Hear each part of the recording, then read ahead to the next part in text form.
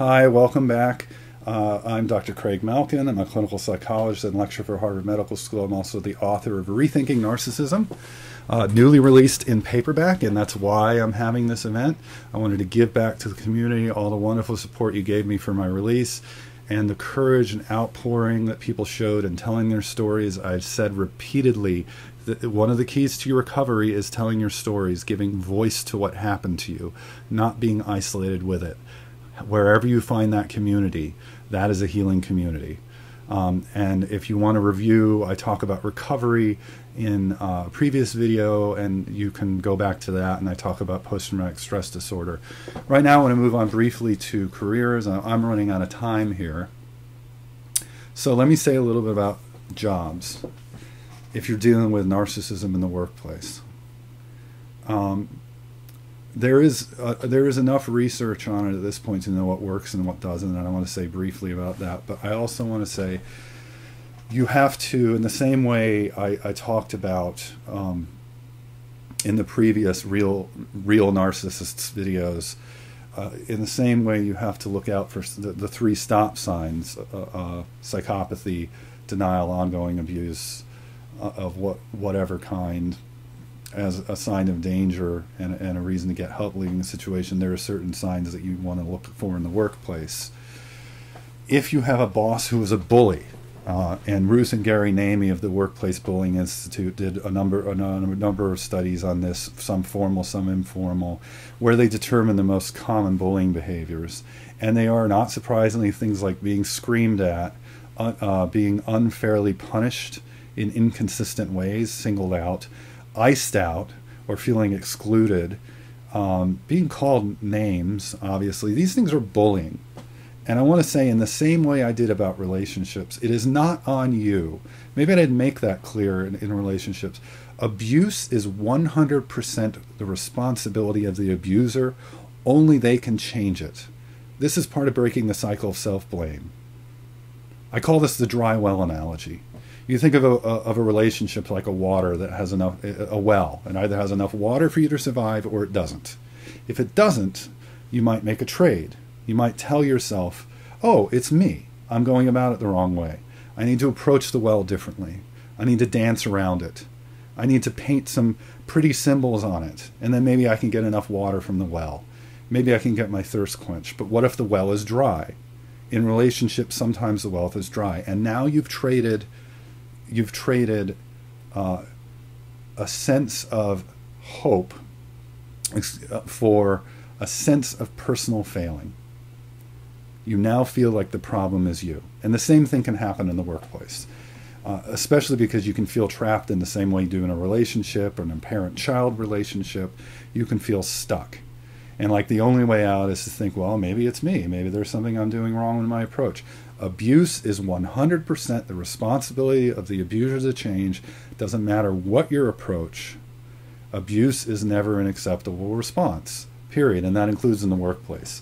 What that means is it's 100% the responsibility of the system to intervene. And you have to figure out is it safe to seek out help if you have a narcissistic boss or you have a narcissistic coworker? Um, one of the easiest ways to seek immediate help and think this through and see if the system is supportive is if you have what's called an ombud or an ombuds person. These are people who, like therapists, are are, are bound by confidentiality. You want to read an agreement because it varies from place to place. But most of the time, they're often even independent contractors brought in. You can speak to them about what's going on so they can help you figure out in the system itself how to negotiate what's going on and if if if it's a case of bullying, they can help you figure out okay, is this workable? Do we need some intervention? And it's a way of testing out. Uh, but before you go higher up to some like, like, HR, you need a sense of whether or not it's safe because very often, as Ruth and Gary Namie have pointed out, HR is part of management and you don't have that confidentiality.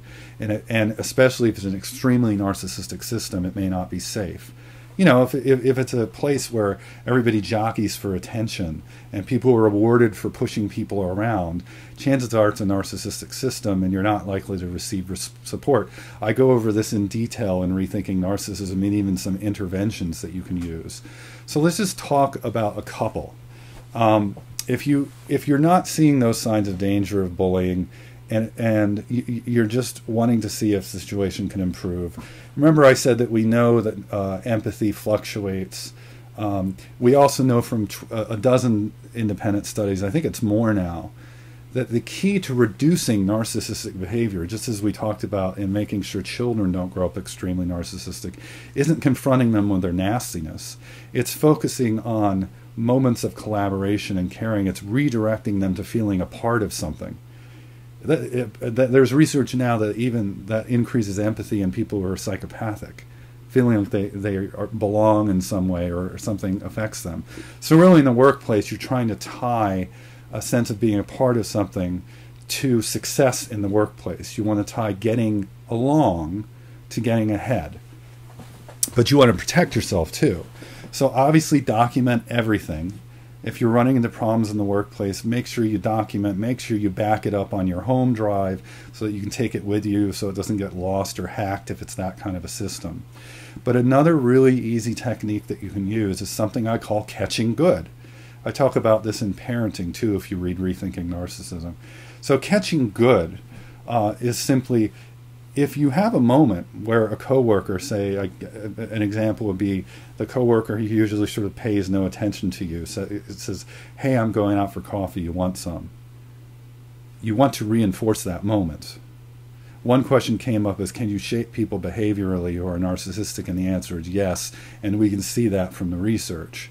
Um, it, it doesn't matter what you know whether we know it's going on or not we all respond to reinforcement. If you re, if you reinforce or reward relationally people who are narcissistic for the right behaviors for being communal for showing those flashes of empathy then then you you see more of it if there's any hope at all. So catching good is you know oh i'm going out for coffee says your friend says your says your coworker. Um, mary is usually aloof and arrogant and do you want any? You say, oh, thanks so much. Um, that's that's really thoughtful of you. I, I, really feel like we're deep in the in the weeds here, trying to work our way out, and it really helps me push forward so that we can get this job done together. But when I feel like you got my back this way, so so thanks so much. Um, it, you know, if you do not reward those moments, they may not happen again and those are the moments you want to reward. When people tried confronting when they tried in the research when they tried confronting coworkers uh, when they when they tried um, uh, taking them to task especially terrible idea if somebody has power over you they were not happy with the results not surprisingly.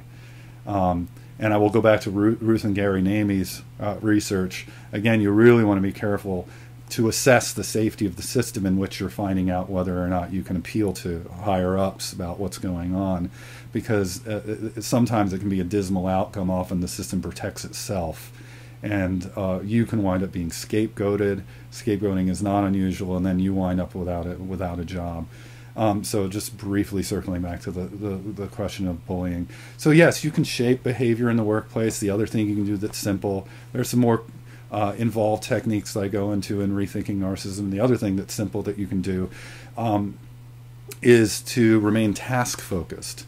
That is, when you're, for example, your your coworker is chewing you out. Uh, maybe they're playing an emo- game emotional hot potato. Uh, they're not sure what's going on with the project. They feel unsure. So they're like, "Why are you doing that? That doesn't make any sense." And, and none of it is productive. None of it is helpful. You redirect them to the task you say uh, first there's the query and then there's a request. Two parts. This is remaining task focused in the workplace. Um, can you help me uh, understand how this brings us to completion on the project? What is it that you want changed? And then and then let's just do it. What what is it specifically that you want to have happen here? Redirect them. Very often, if people are workable or not, they can be redirected in that way. Obviously, this is not about um, increasing closeness or being chummy. And uh, one of the things I point out is when you're dealing with uh, relationships where you've sort of given up on any hope of intimacy, these same managerial tactics, if you will, uh, work just as well, like remaining task focused, I mentioned, when you're do, trying to do an email exchange with an ex over, over custody.